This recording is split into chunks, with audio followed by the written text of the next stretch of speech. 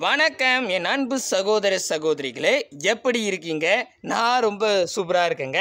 இன்றைக்கி நம்ம என்ன பார்க்க போகிறோம் அப்படின்னு பார்த்தீங்கன்னா நீங்கள் TNPSC group four and VAO படிக்கிறவங்களா இருந்தால் பொது தமிழில் இந்த ஒரு புத்தகத்திலிருந்து பத்துக்கு மேற்பட்ட கேள்விகள் கேட்குறாங்க அதுக்கு அஃபிஷியலான ஒரு ப்ரூஃப் தான் உங்களுக்கு காட்ட போகிறேன் ஸோ இந்த அஃபிஷியல் ப்ரூஃப் காட்டுறதுக்கு முன்னாடி இந்த புத்தகத்தில் புதிய சிலபஸில் என்னென்ன டாபிக் கவர் ஆகுது அப்படின்றத அந்த புதிய சிலபஸில் ஹைலைட் பண்ணி காட்ட.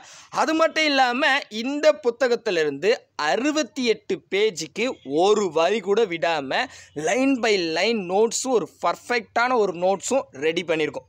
இந்த நோட்ஸை படித்தாலே போதும் அப்படின்னு நீங்களே உங்கள் வாயில் சொல்ல போகிறீங்க அதனால் இந்த வீடியோவை கொஞ்சம் கூட ஸ்கிப் பண்ணாமல் பார்த்தீங்கன்னா அந்த அஃபிஷியல் ப்ரூஃப் என்னென்னு காட்ட போகிறேன் அந்த புத்தகம் என்னன்னு தெளிவாக சொல்லிட போகிறேன் அது மட்டும் இல்லாமல் இந்த சேனலுக்கு நீங்கள் புதுசாக இருந்தால் சப்ஸ்கிரைபிள் பண்ணி வச்சுங்க கூடவே பக்கத்தில் இருக்கிற பெல் ஐக்கானை ப்ரெஸ் பண்ணி ஹால்னு இருக்கும் அதை செலக்ட் பண்ணிட்டீங்கன்னா நம்ம போடுற வீடியோ உடனுக்குடன் நோட்டிஃபிகேஷனாக வரும்.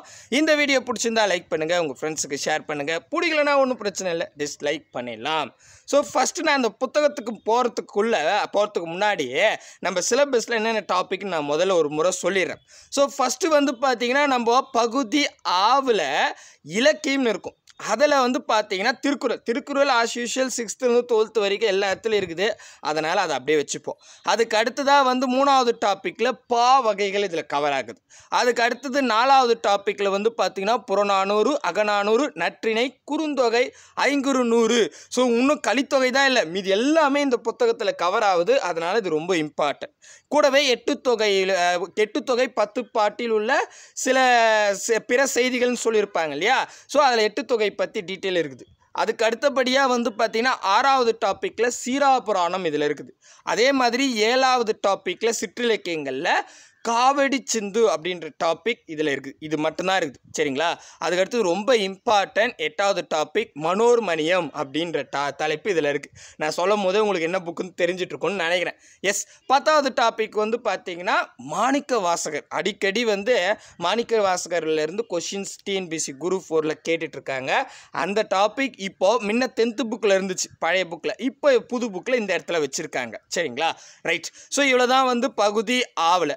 அதுக்கு அடுத்தது பகுதி இ எடுத்துட்டிங்கன்னா தமிழ் அறிஞர்களும் தமிழ் தொண்டும். இந்த ட இந்த டாப்பிக்கில் மொத்தம் இருபத்தொரு டா இது இருக்கு இல்லையா? அதில் வந்து பாரதியார் பாரதிதாசன் நாமக்கல் கவிஞர். இவங்கள்லாம் இதில் கவர் ஆயிடுது. அதுக்கு அடுத்தது வந்து பார்த்திங்கன்னா மூணாவது டாபிக் புது கவிதையில் வந்து பார்த்திங்கன்னா சீசு செல்லப்பா வராங்க.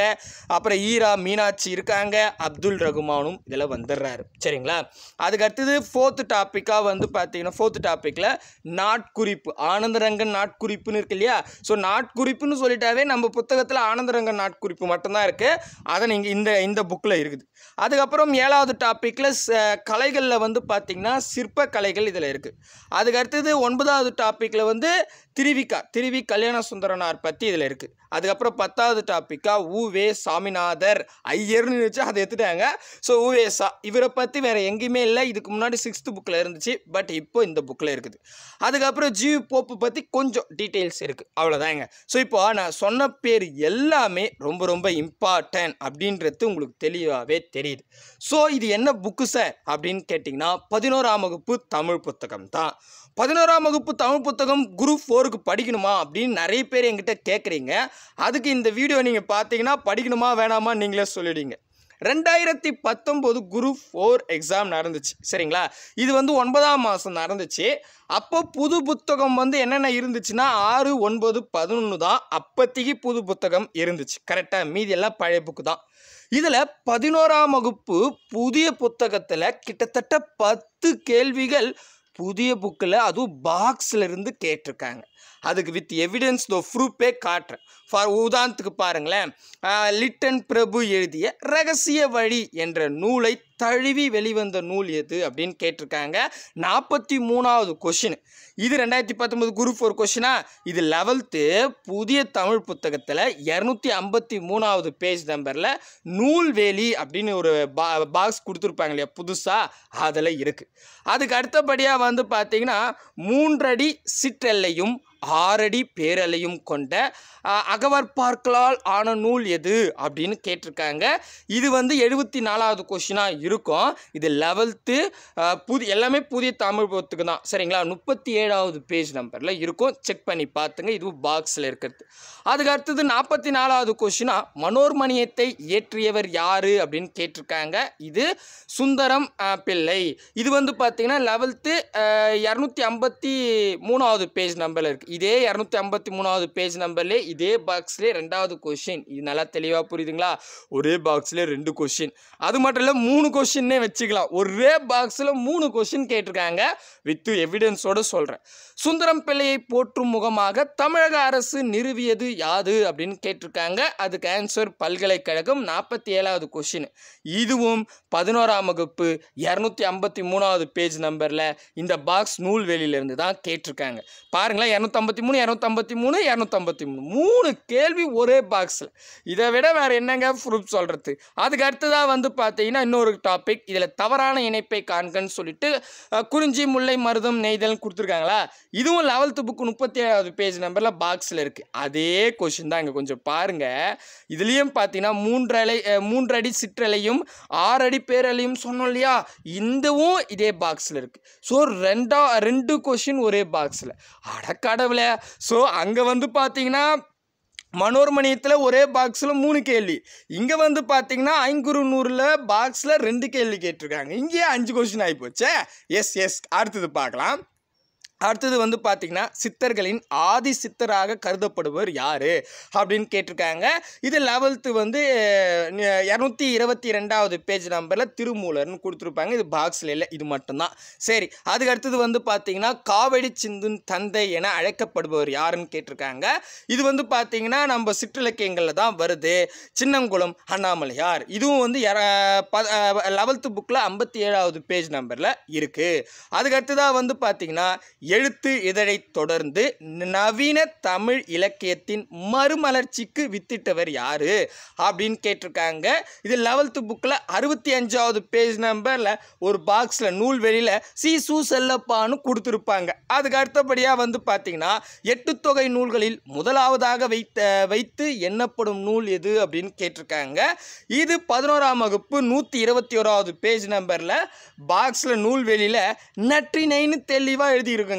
அடக்கடவுல எல்லாம் பாக்ஸ் கொஸ்டினாகவே கேட்டிருக்காங்க. ஃபைனலாக ஒன்று பார்த்துருவோம் பாரதிதாசன் இயற்றிய நாடக நூல் எது அப்படின்னு கேட்டிருக்காங்க. இது வந்து லெவல்த்து இரநூத்தி நாலாவது பேஜ் நம்பரில் பிசியேந்திரர் பிசியேந்திரர் ஐயோ வளரனே பிசிராந்தியர் அப்படின்னு சொல்லியிருப்பாங்க. கரெக்டாக ரைட் கொஞ்சம் நாக்கு இதுவும் ஆயிடுச்சு ஸ்லிப் ஆயிடுச்சு. ஸோ இதில் வந்து பார்த்தீங்கன்னா இதுவும் வந்து பார்த்தீங்கன்னா இரநூத்தி நாலாவது பேஜ் நம்பரில் நூல்வெளியில் கொடுத்துருப்பாங்க.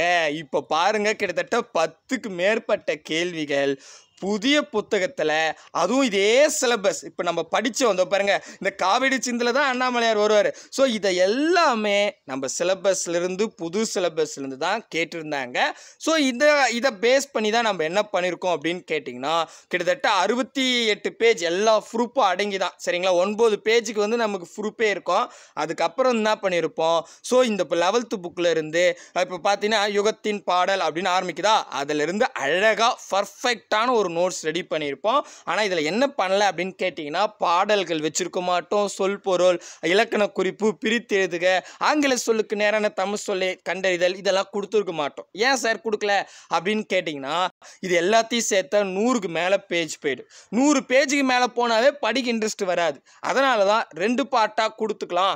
முதல்ல இதில் வந்து எப்படி கொஷின் கேட்டாங்கன்னு நீங்கள் பார்த்துட்டீங்க. ஸோ அதுக்கு தகுந்த மாதிரி ஒரு நோட்ஸ் ரெடி பண்ணி கையில் கொடுத்துருவோம். அதுக்கு அடுத்ததாக இலக்க இலக்கணத்தில் இருக்கிறத கொடுத்துக்கலாம் அப்படின்னு பிளான் பண்ணியிருக்கோம். ஸோ அதனால் ஃபஸ்ட்டு இதை படித்து முடிச்சிடுங்க இது ஒன்றும் பெருசாலாம் இருக்காதுங்க. மொத்தம் வந்து பார்த்தீங்கன்னா டீட்டெயிலாக தெளிவாக கொடுத்துருப்போம். ரோம லெட்டர்ஸ் நிறைய பயன்படுத்தியிருப்போம். சரிங்களா? ஸோ அந்த ரோம லெட்டர்லாம் இல்லைனா கிட்டத்தட்ட ஆயிரம் கொஷின்ஸ் வருங்க. பட் ரோம லெட்டர் ஒவ்வொரு இதுவும் ரோம லெட்டராக பயன்படுத்துறதால ஒரு நானூற்றி அறுபத்தி ஏழு லைன் பை லைன் நோட்ஸ் தான் கிடைக்குது. சரிங்களா? ஆனால் நீங்கள் ப பார்க்குறவங்களுக்கு நல்லாவே தெரியும். இப்போ இதில் கூட பாருங்கள் எழுபத்தி மூணாவது ப இது பார்த்தீங்கன்னா கொஷின் பார்த்தீங்கன்னா அதிலே நாலு ரோம லெட்டர் இருக்கும். சரிங்களா?